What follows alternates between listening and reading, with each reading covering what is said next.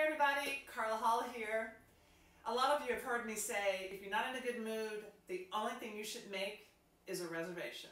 but as we shelter in place, going out to eat at a restaurant, it's just not possible.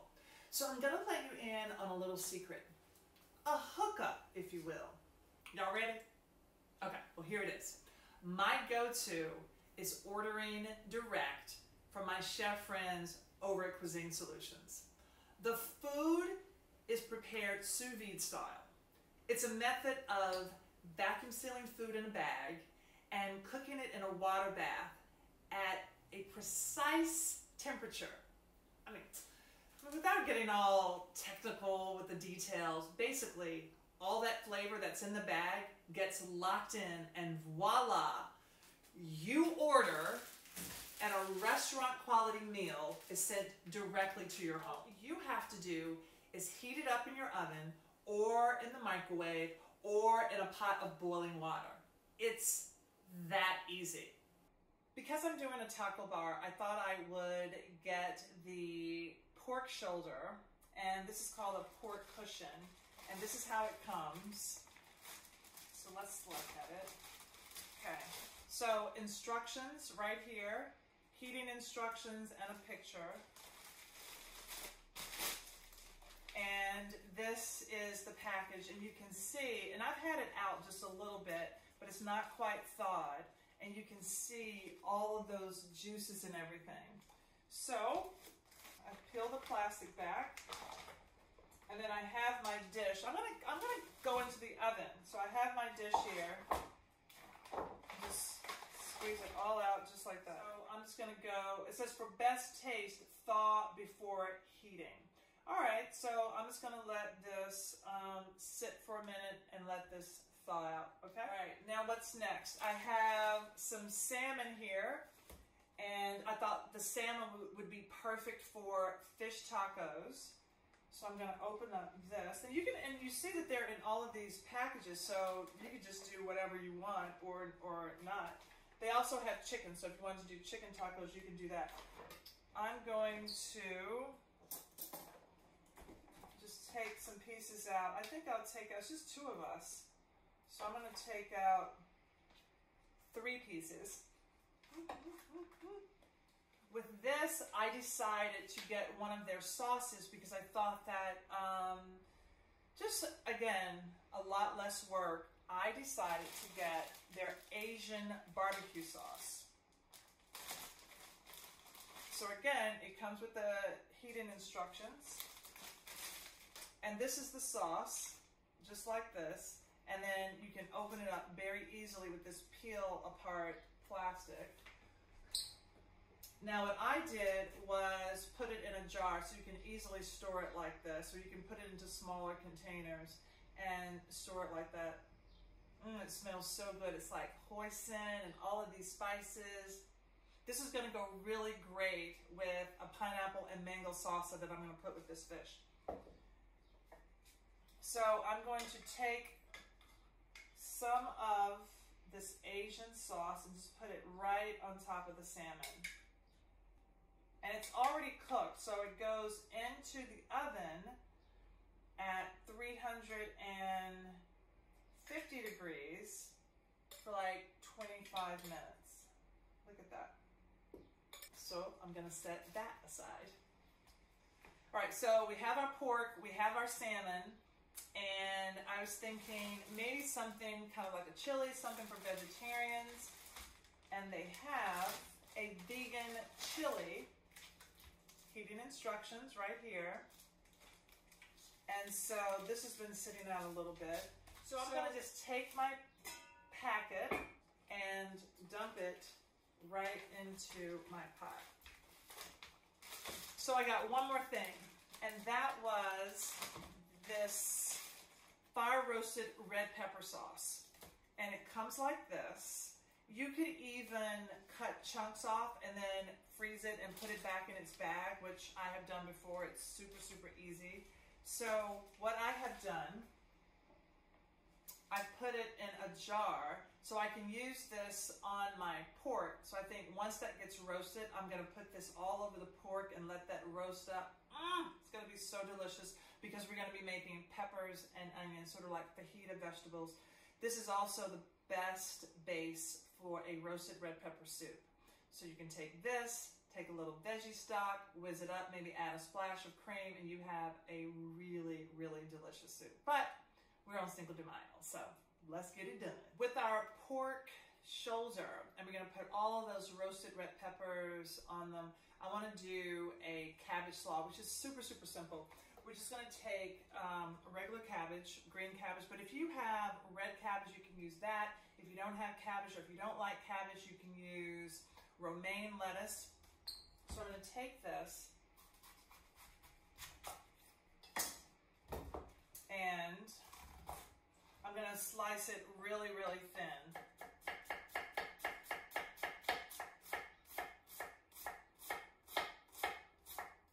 So you can see how thin I am cutting the cabbage. If you have a box grater, you may be able to just um, do the side of the box grater with the slicer, or if you have a um, if you have a mandolin, you can also use that.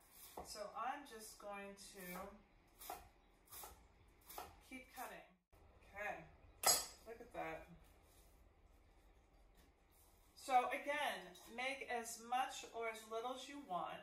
I'll have the recipes available. You can always have the recipe or multiply it up. The reason that I love Cinco de Mayo is because we're celebrating the culture and history of Mexicans and, and honoring their traditions. And, all right, so I have my cabbage. I put in some oregano. If you don't have oregano, you can use basil, you can use thyme, um, you can use za'atar or any kind of like a dried herb.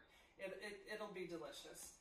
And I'm gonna add in some salt. So the salt is gonna pull out some of the water in the cabbage. And then I'm gonna add some vinegar. Now I happen to order these vinegars, I happen to order these vinegars from Lindera Farms and they are delicious. I have cherry blossom vinegar because I'm here in DC and I want to try cherry blossom vinegar.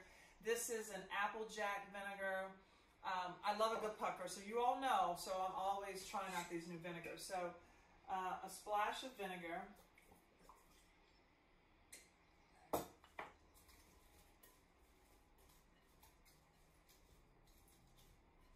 It smells unbelievable. And I'm not weighing this down with a lot of spices and everything because the pork will have spices. I'm using that roasted red pepper sauce. That'll be all um, flavorful. So really, this is a supporting cast. It's going to add some crunch and texture to those tacos. All right, so let's see. Mm -hmm. Wow. That vinegar, that floral note really comes through. It's nice. All right, so sit this aside. So a taco bar wouldn't be a taco bar without fajita vegetables. So I'm taking um, different color peppers just, just use whatever you have. I have green, yellow, and red. If you have orange, that's fine. If you have poblanos, that's fine. If you just have um, jalapenos, that's fine.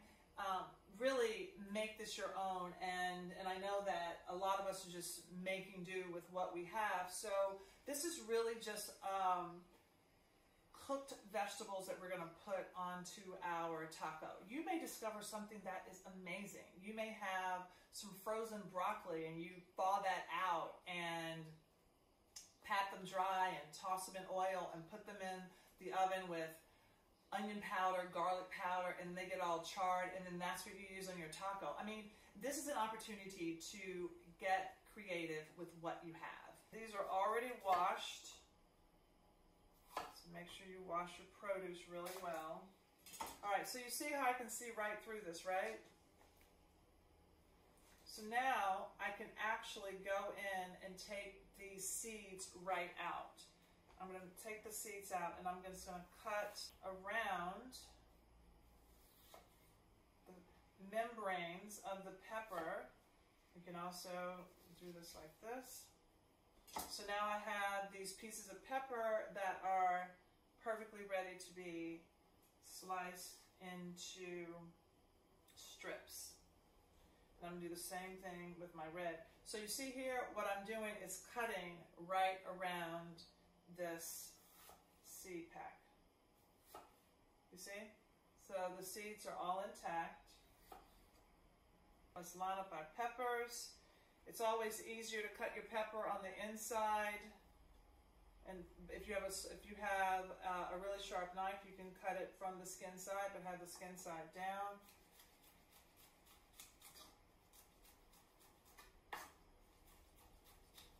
I like mine fairly thin. If you like your peppers thick, then go ahead and cut them thicker. All right. So there are my peppers, and now I'm going to cut my onions. Now right here, I have a little bit of the core in the onion, so what I'm going to do is cut that out on both sides. I'm going to cut the core out. And the reason I'm doing that is because when I cut my onions down like this into strips. I don't want that core keeping my onions together.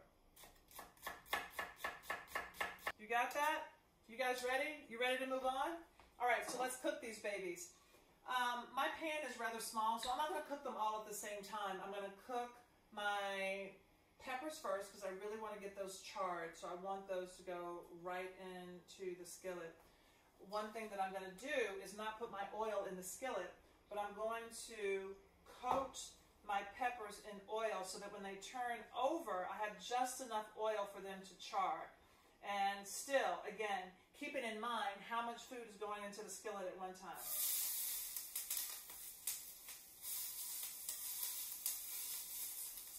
Let them char, don't touch it. You want those peppers to get nice and charred. If you don't have a cast iron skillet, and you have a non-stick skillet or you have a stainless steel skillet, it's perfectly fine. This is just another um, another tool to use. If you don't want to cook on top of your stove and you want to toss them in oil and then put them in the oven, toss them in oil and salt, really high heat, like 450. But your oven is already at 425 with the pork in there, so go ahead and put them in that hot oven. Oh, it's smelling so good. It's all charred and ah, y'all.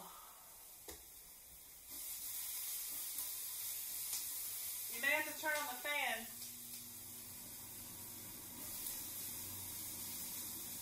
Look at this.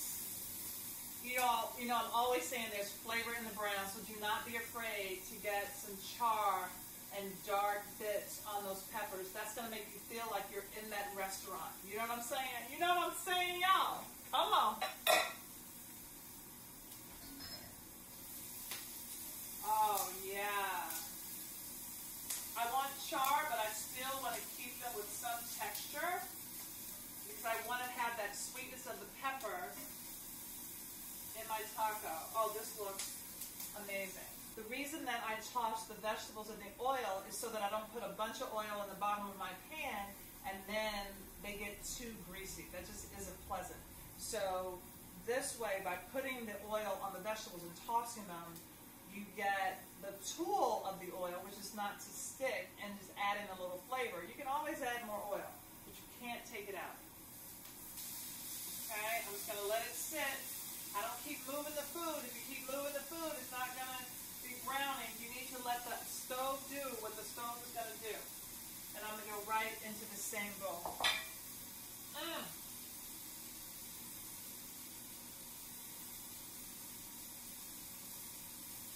Y'all, also, want to check on the pork and let me see or show you all what's happening. So this is our pork and you can see all of these juices, so all those beautiful juices, and it's getting nice and brown. Um, what I'm going to do is take, I'm going to take my roasted red pepper sauce and put over the pork just to cover it. And then now the red pepper sauce is going to be in those pork juices, and then later on I'll keep basting and making sure that, that is getting nice and glazed. And honestly, that's it. So back into the oven we go.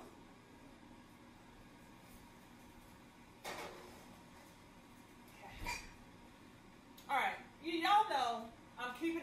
y'all So I thought I was going to do a mango and pineapple salsa. I don't know where the mango is. So I'm just going to do this pineapple salsa. If you have cucumbers, you can use that. So I'm going to do pineapple and a jalapeno, some red onion, scallions, and cilantro, a little bit lime zest and juice. It's, it's just that simple. But honestly, you can make it as simple or as elaborate as you, as you want. You can make it as simple or as elaborate as you want. If you want to add avocado to it, you can do that. If you want to just do a tomato salsa like a pico de gallo, you can do that. That would be um, tomatoes and garlic, some onions, jalapeno, um, and just toss that together, salt and pepper, cilantro if you want. Um, but, but really, this is about what you have and how you eat, what you want to eat. So I am going to cut up my pineapple. And if you have canned pineapple, you can use that. If you have the pineapple that already came cut up from the grocery store, you can use that. Cutting around the pineapple, I'm using this middle part of my knife. And I don't want to lob off the pineapple so it's just a, square. So you can see how the pineapple is still round. Sometimes when people take these, they, they take like a whole side of the pineapple off. So I didn't take a lot of skin off. See? A, a quarter inch dice. Again, because I want it to be small enough where it can um, fit on the taco. So this, I'm doing these planks. This is what's called a plank. So this is what my pineapple looks like. You see? So I've done these cuts here Turn around the other side, same thing. I'm cutting around the core.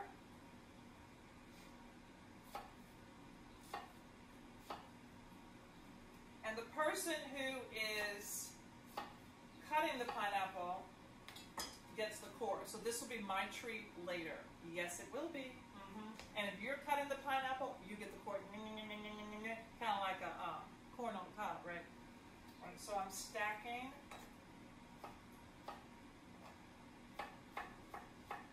my planks. Mmm, this is going to be so good. Even without the mango that I thought I had. But you know, again, we are making do. You, in real time, I am showing you what to do when you make do. Cucumber really would be good in this. So it would be really nice and refreshing, especially with that Asian sauce Delicious. So I'm putting all this in my bowl. So now I'm going to use, I was going to use a cup of the pineapple, but because that's going to be pretty much our main thing, I'm using a little bit more. You can use whatever fruit you want. Okay? And I'm going to cut my onion up. Now, I don't know if you can see this, but I'm going to start cutting my onion. And you see these little nicks? I'm not going to cut past the side of the onion because I want the onion to stay together. So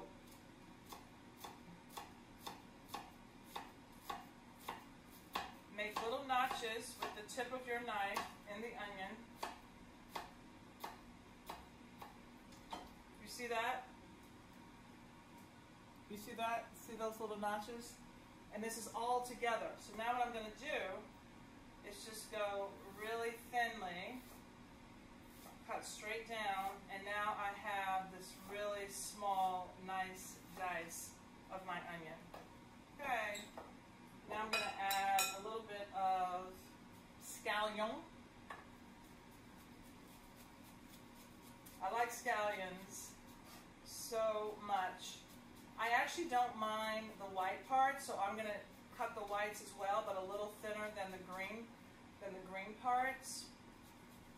So I'm taking some cilantro and I'm chopping this up. It's all clean and dried. Dry it first.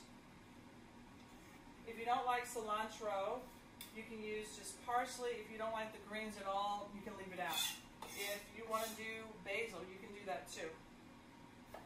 So I'm going to use the same process that I did for my sweet peppers with this jalapeno. So I'm cutting the top and the tip off. I'm looking inside so that I can see exactly how I want to cut straight down and around the seeds.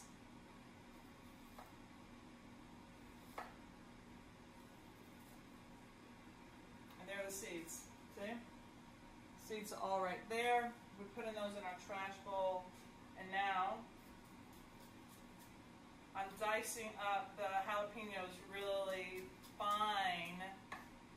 You never know when one is really spicy. And I don't like spice that much. But if you like spice, go for it. Look, I even have some habaneros. So if you want to do the habanero, I can't handle it. I can handle those in a soup when I slit them. But I just can't handle them in um, raw things, like diced up. I, I, I'm, I'm a lightweight. So we're almost finished with this. I am dicing up the jalapeno. So a little bit of lime zest.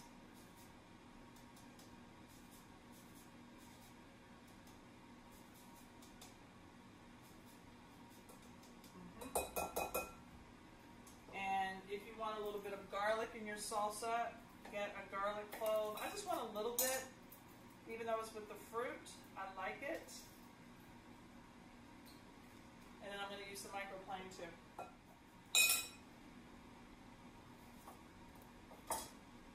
And some of that lime juice goes in there. And I'm just doing a little bit of oil. Some salt. And I'm just mixing this up before I make my next thing, I'm checking on my pork and just give it a baste. Just go ahead and Oh my gosh, there happens to be a loose piece. I have to eat that. this is so tender.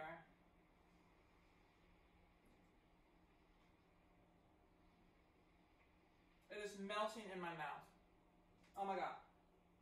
Really. I can't wait for you to try it. Okay. Mmm. Mmm. And I'm going to do a quick cream sauce, like a sour cream, but with jalapeno. If this is too spicy for you, don't worry about it. I'm going to keep some of the seeds because I want it to be somewhat spicy. And this is going to be for the pork tacos. Well, you can use it on anything, but I think it'd be really nice spooned over the pork. So I just cut up a rough chop of jalapenos. Use one more. All right. And now I'm just going to take a um, immersion blender and blend this up. Okay, it's chopping up. So now what I want to do is add some of my sour cream, just a little bit to get it going a little more, and a little bit of salt. And I'm honestly going to add just a glug of olive oil.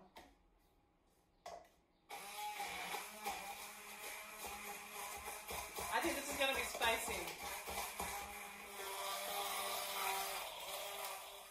Okay. So what I have here now is just, so kind of pureed is really liquid. It's really kind of liquidy, but I'm going to add in more sour cream.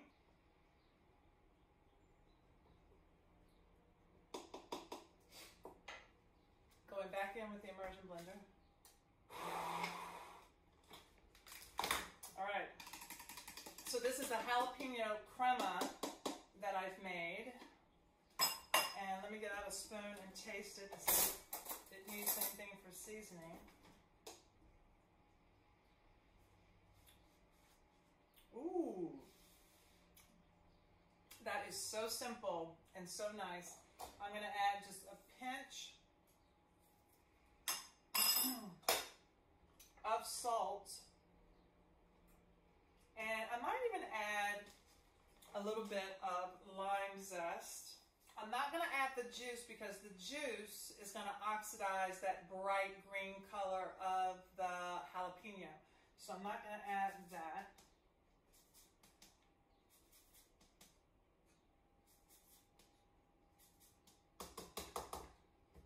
Okay. All right. Our avocado crema is done. Y'all, we're just about there, really. We have to put the salmon in and then we put it all together. Taking the pork out, the vegan chili is on the stove heating up. Make sure that you stir that. The salmon is in. And now I'm just gonna finish up grating some cotija cheese. And if you wanna do cheddar, you can do that as well. This. And next stop, we're eating. So this is our buffet. We've got the vegan chili. I've got the pork shoulder, the cushion with the fajita vegetables, the salmon with that Asian barbecue sauce. I made a pineapple salsa. I've got the jalapeno crema, our cabbage, and smashed avocado. I've got the grated cotija cheese, a little bit of onions here. I just have some tortilla chips and then I put our tortillas in that cloth and I'm excited. I can't wait to eat. I mean, the drinks are on y'all. Margaritas, sangria, whatever you're doing, it's all on you. But enjoy. Thanks, Cuisine Solutions. Thanks for making it really easy. Okay, was that so hard? I mean, all the proteins were done, and honestly, it went from the freezer to our oven. Okay, it was a little bit of work, but we had fun together, didn't we? I had fun with you all. All right, stay tuned for some other ideas and celebrations because sheltering in place doesn't mean that you can't have restaurant quality food.